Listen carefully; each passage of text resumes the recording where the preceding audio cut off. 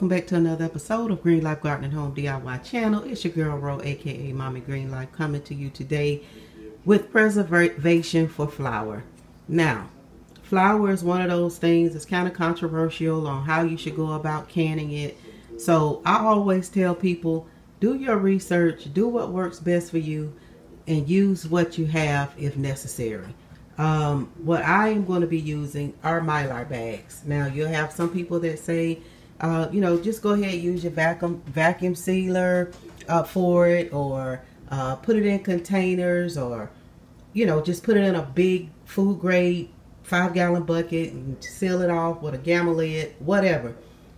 This is what I'm doing, and the reason I'm going about it this way is because uh, I'm trying to keep it pretty long term. I don't use a whole bunch of flour, but when you're putting things away uh, for food preservation, you know, we're on a whole nother level. It's not about what you like and your favorite things to eat out of the store. Now it's about survival time, okay? So this is 25 pounds of uh, bleached enriched flour. Um, you know, flour, meal, beans, all of these things are prone to weevils and different things of that nature if kept over um, an extended period of time not stored properly.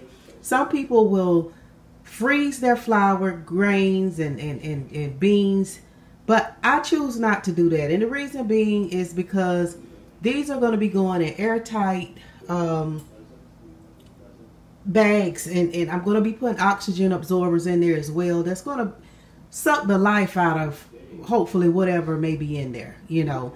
Um, no one wants to run the risk of being in a situation where you can't get food and you have food that you you can't eat because you know the the weevils have taken it over or what have you.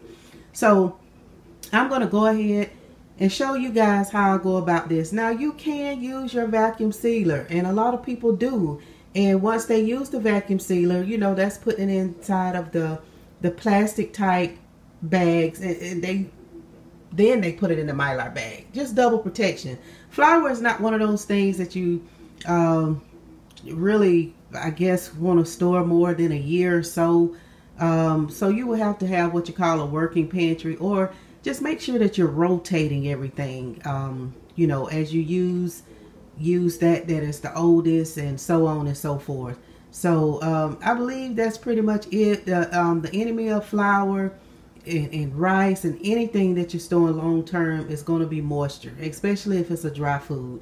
Um, you have to know how to put these things away to keep the rodents from getting a hold to it. Um, yes, rats can eat through these mylar bags. They can eat through five gallon buckets and a whole bunch of other things, but to keep down pests, then you need to make sure you're putting your things up off the floor in a place that is safe, um, just in case, you know, it's, a, it's you live in a flood zone. Uh, you just have to take a lot of things into consideration on how you're going to store up. So, you know, when you come back for it, whenever, um, you, you don't have problems. Okay. So, uh, the main thing is, is just, just get started. Just get started. Putting you a little bit away here and there. And, um, and that's that's about it. Uh, as far as flour, um, you know, this is a temporary. Like I said, not looking to hold over a year for me. I prefer wheat berries, which is I could grind to make my own flour. And when I get mine in, I'll be showing you guys how to go about doing that as well. And that way you don't have to worry about, um, you know, something that has already been processed okay okay so I went ahead and cut a hole straight across the top of my bag. The only thing I'm going to do now is start dipping my flour out and pouring it into this measuring cup just to know exactly how much flour I have in the bag. Then I'm going to seal it up. You could use gloves if you want but make sure your hands are clean and dry most of all. Alright, so we know flour can get kind of messy. I'll be as careful as I can. And, uh, okay, so my first four cups of flour are, is about to go into the bag. Okay, so inside this jar I have oxygen absorbers and uh, it's recommended that for a gallon size bag like this one, uh, this one is holding actually about 16 cups of flour. I'm going to add three. These are 100 cc's. You could always go to um, websites to see exactly what type of oxygen absorber you need to store whatever it is you're trying to put away. Of course, this is flour for me. These are 100 cc packets it takes about 300 cc, so I'm going to put three in there. And you have to be quick about using these oxygen absorbers because, of course, they are constantly pulling air um, from the atmosphere. So when I'm not using them, I put them in this mason jar. And you could also vacuum seal them back up. So I'm going to go ahead and get three and put it inside the bag. Some people don't uh, put oxygen absorbers in. Um, that's your personal preference. And uh, they would use bay leaves to um, also use bay leaves to keep down the bug infestation. But as far as absorbing moisture and what have you, uh, it's important that you use the absorber. So try to get as much air out of the bag as you can. I'm also going to show you another way too if you just do not have um, mylar bags and things of that nature. So you don't feel like you can't do anything right now. So what I'm going to do right now is go ahead and show you how I seal the bag. Okay, so to seal the bag, I'm using a flat iron that I have. Um, I'm sure some of you ladies have one or you could probably find one. I mean, they are plentiful. I have lots of them because I did hair 30 years and we just collect stuff. okay, so let me go ahead and show you how to do this. You just grab the bag here. I try to grab it on the sides so it'll flatten out. And I take and I add my heat to it right here. And it's going to seal it.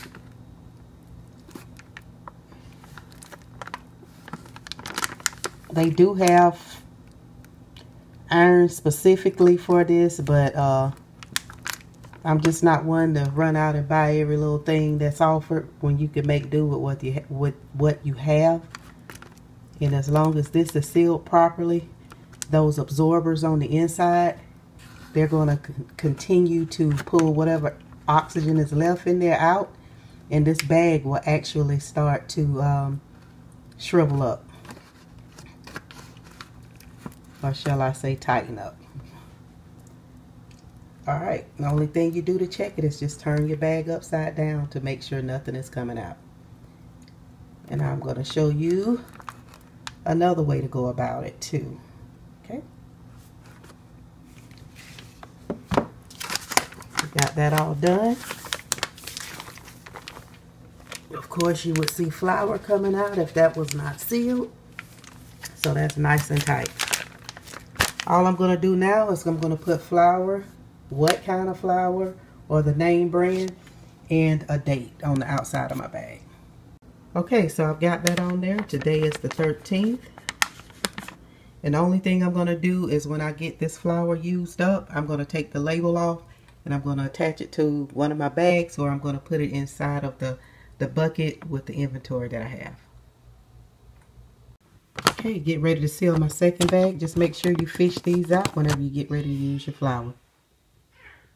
Okay, so the next thing I'm going to show you is how to use your vacuum seal to um, save your flour. And some people say that this doesn't work as good as the Mylar bags because of the plastic. You know, it could be compromised if it's not a certain thickness and just so on and so forth. Again, do your own research. Do what works best for you. But what I'm going to be using is this paper bag to put the flour in. Um, if it was in its own packaging, I would probably just leave it. But the um, paper bag is going to serve as a purpose of not allowing the, the fine flour dust to go up into the vacuum hose and clog it up. So I'm going to use that and then I'm going to put it inside of my um, food saver package here and I'm going to show you how that's done.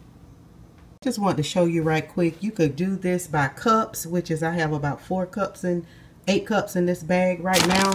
or you can do it by weight. And that eight cups is averaging right at about uh, almost three pounds. So you decide because again, you never know when you may need to barter with your goods and trade out for something somebody else may have that you need. And having it in smaller portions would allow you to do that. So if that's something you're thinking about doing, then you may want to go ahead and uh, measure out a certain amount to do something like that. Or if you have certain recipes or what have you, which I encourage you to put over into your container with your uh, goods that you're saving. And um, you'll have everything right there, you know. Uh, eight cups of flour is not something I generally would use all at once, but again, just do whatever works best for you. All right, so I went ahead and I put five pounds in here. I've got it all packed down in there good. So the next thing I'm going to do is just gently fold that over. I'm going to use some masking tape just to tape it right here because I still want that uh, oxygen to come out of the bag.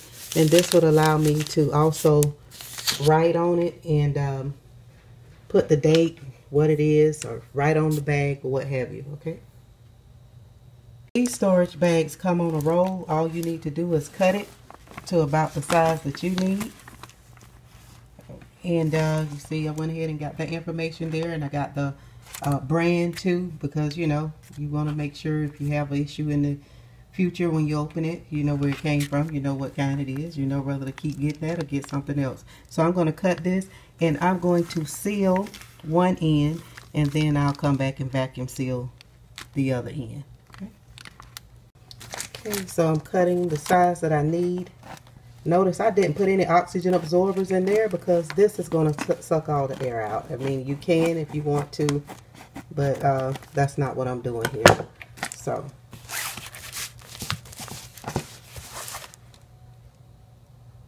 okay, I'm going to go ahead and seal this by pressing down. However your machine works, that's what you do. And I'm going to hit seal.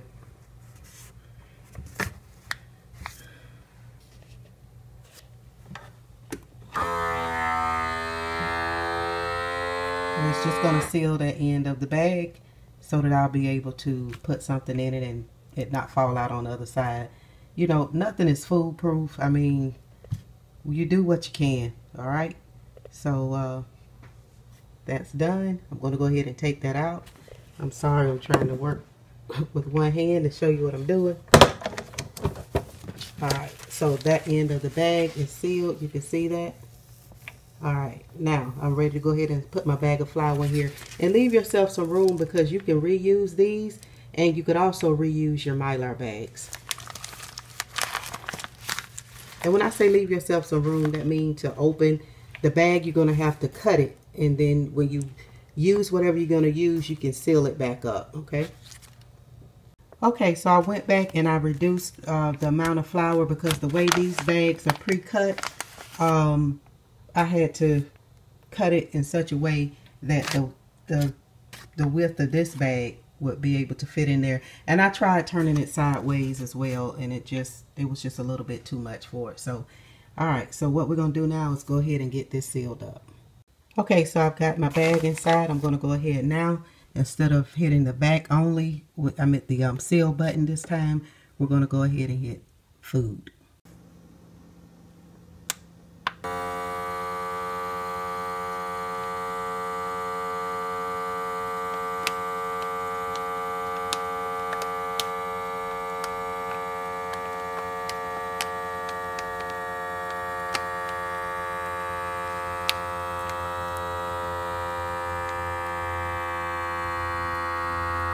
Taking it a minute because I left quite a bit up there. Because I cut it for the larger bag so. Taking a bit to get the air out.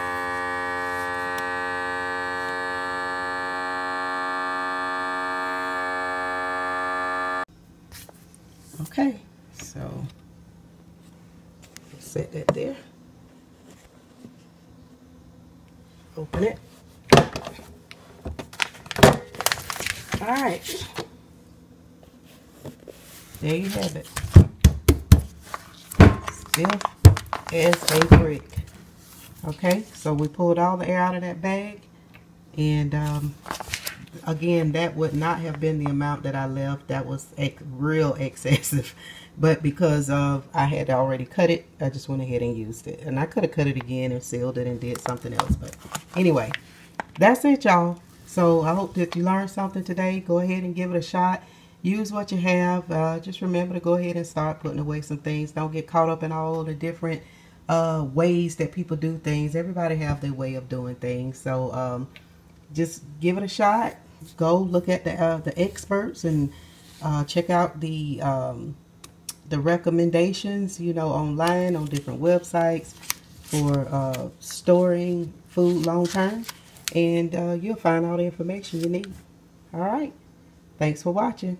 One love. Right quick, I just wanted to say, make sure I got ready to take the label off to put with my uh, flour storage. Make sure that you are checking your dates. I bought this this month, which is January 2021. Uh, 21. and look, 6 to 20 I didn't see that. I've already got everything all packaged up, but it tells you clearly the shelf life would be one year from this date. So, you know. Uh, but notice on here, my coconut flour expires on uh, 2022. And uh, your gold medal flour, all-purpose, it expires 2022. Don't know if you can really see that but that's the best uh, use date. So make sure that you are checking your dates